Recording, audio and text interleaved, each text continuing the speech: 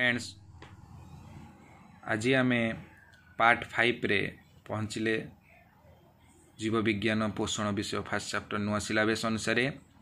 ଆଜି ଆମର ଆଲୋଚନାର ବିଷୟ ହେଉଛି ପୋଷଣର ପ୍ରକାରଭେଦ। ଆମେ ବିଭିନ୍ନ ପ୍ରକାର ପୋଷଣ ବିଷୟରେ ପଢ଼ିବା। ଫାଷ୍ଟ ହେଉଛି ଆଜି ଆମର ସ୍ୱଭୋଜୀ ପୋଷଣ। ତାହେଲେ ଆଜି ଆମେ କେବଳ ସ୍ୱଭୋଜୀ ପୋଷଣ ବିଷୟରେ ପଢ଼ିବା। ନେକ୍ସଟ ଭିଡ଼ିଓରେ ଆମେ ପରଭୋଜୀ ପୋଷଣ ବିଷୟରେ ପଢ଼ିବା।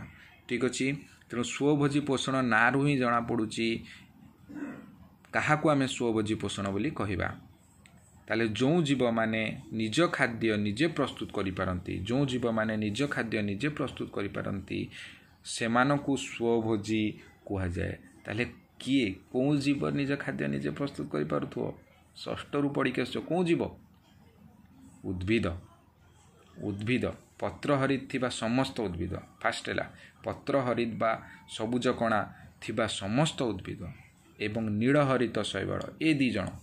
ପତ୍ର ହରିତ ଥିବା ସମସ୍ତ ଉଦ୍ଭିଦ ଏବଂ ନୀଳହରିତ ଶୈବାଳ।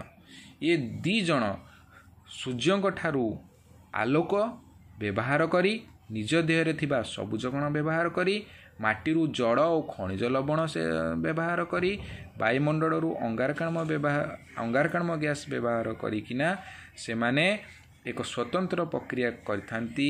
ସେଟା ହେଉଛି ଆଲୋକ ଶ୍ଲେଷଣ ପ୍ରକ୍ରିୟା। କ'ଣ ପ୍ରକ୍ରିୟା ସେ ପ୍ରକ୍ରିୟା ନା? ଆଲୋକ ଶୋଷଣ ତ ଆଲୋକ ନିଶ୍ଚିନ୍ତ ରୂପେ ଏଠି ଆଲୋକ ବ୍ୟବହାର ହେଉଥିବ। ଆଲୋକ ଶକ୍ତି ସୂର୍ଯ୍ୟଙ୍କ ଠାରୁ ଆସୁଥିବା ଆଲୋକ ଶକ୍ତିକୁ ସେମାନେ ବ୍ୟବହାର କରିକିନା ସେମାନେ ଖାଦ୍ୟ ନିଜ ଖାଦ୍ୟ ନିଜେ ପ୍ରସ୍ତୁତ କରିଥାନ୍ତି।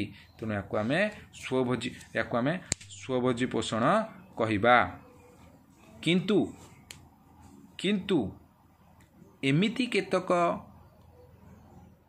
ଜୀବ ଅଛନ୍ତି ଯେମିତି ନାଇଟ୍ରେଟ୍ ପ୍ରସ୍ତୁତକାରୀ ବ୍ୟାକ୍ଟେରିଆ ହେଇଗଲେ କି ଗନ୍ଧକ ବ୍ୟାକ୍ଟେରିଆ ହେଇଗଲେ ଏମାନଙ୍କର ନିଜସ୍ୱ ସବୁଜ କଣା ନାହିଁ। ନା ସେମାନେ ସୂର୍ଯ୍ୟଙ୍କ ଠାରୁ ଆଲୋକ ପାଇପାରୁଛନ୍ତି ତେଣୁ ସେମାନେ ନିଜ ଖାଦ୍ୟ ନିଜେ ପ୍ରସ୍ତୁତ କରିବେ କେମିତି? ସେମାନେ କେମିତି ବଞ୍ଚିବେ? ତେଣୁ ସେମାନେ ଏକ ସ୍ୱତନ୍ତ୍ର ରାସାୟନିକ ଉପାୟରେ ଏକ ସ୍ୱତନ୍ତ୍ର ପ୍ରକ୍ରିୟା ଅବଲମ୍ବନ କରନ୍ତି। ସେ ପ୍ରକ୍ରିୟା ନାଁ ହେଲା ରସାୟ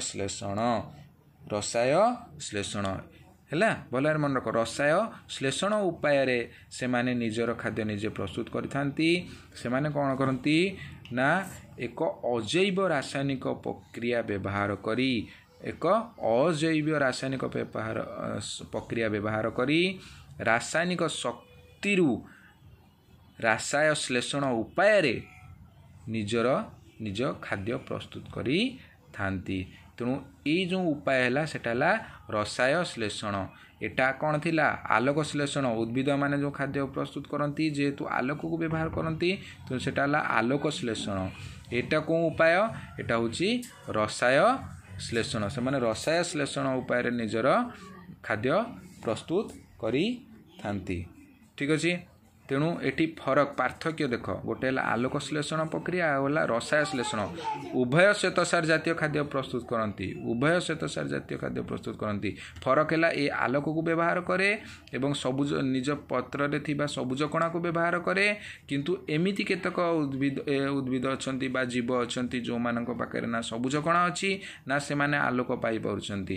ତେଣୁ ସେମାନେ ଆଉ ଆଲୋକ ଶ୍ଲେଷଣ ନ କରିକି ଏକ ବିଶେଷ ରାସାୟନିକ ଉପାୟରେ ଏକ ବିଶେଷ ପ୍ରକ୍ରିୟା ପ୍ରକ୍ରିୟା ଅବଲମ୍ବନ କରନ୍ତି ରାସାୟ ଶ୍ଲେଷଣ ପ୍ରକ୍ରିୟା। ଠିକ୍ ଅଛି? ତେଣୁ ପାର୍ଥକ୍ୟ ଯଦି ପଡ଼ିବ ଆଲୋକ ଶ୍ଲେଷଣ ପ୍ରକ୍ରିୟା ଏବଂ ରାସାୟକ ରାସାୟ ଶ୍ଲେଷଣ ପ୍ରକ୍ରିୟା ମଧ୍ୟରେ ଫରକ କ'ଣ? ନା ତୁମେ ପ୍ରଥମେ କହିବ ଖାସ କରିକି ପତ୍ର ହରିଥିବା ସବୁଜ ଉଦ୍ଭିଦ ଏବଂ ନୀଳହରିତ ଶୈବାଣମାନେ ଆଲୋକ ଶ୍ଲେଷଣ ଉପାୟରେ ନିଜର ଖାଦ୍ୟ ପ୍ରସ୍ତୁତ କରିଥାନ୍ତି। କିନ୍ତୁ ରାସାୟନିକ ଶ୍ଲେଷଣରେ କ'ଣ ଲେଖିବ? ନା ନାଇଟ୍ରେଟ୍ ପ୍ରସ୍ତୁତକାରୀ ବ୍ୟାକ୍ଟେରିଆ ଏବଂ ଗନ୍ଧକ ବ୍ୟାକ୍ଟେରିଆ ମାନେ ରାସାୟନିକ ଉପାୟରେ ଅଜୈବିକ ରାସାୟନିକ ପ୍ରକ୍ରିୟାରେ ରାସାୟନିକ ଶକ୍ତିକୁ ୟୁଟିଲାଇଜ୍ କରିକିନା ଖାଦ୍ୟ ପ୍ରସ୍ତୁତ କରିଥାନ୍ତି ଏବଂ ତାହାକୁ ରାସାୟ ଶ୍ଲେଷଣ ବ୍ୟାକ୍ଟେରିଆ କୁହାଯାଏ।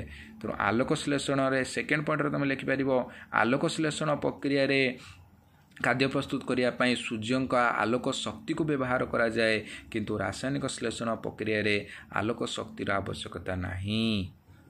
ହେଲା ଉଦାହରଣ ବି ଦେଇପାରିବ କିଏ କରନ୍ତି ରାସାୟ ଶ୍ଲେଷଣ କିଏ କରନ୍ତି ଆଲୋକ ଶ୍ଲେଷଣ ଓକେ ତାହେଲେ ଆଜିର ଭିଡ଼ିଓରେ ଏତିକି ନେକ୍ସଟ ଭିଡ଼ିଓରେ ଆମେ ପରଭୋଜି ପୋଷଣ ବିଷୟରେ ପଢ଼ିବା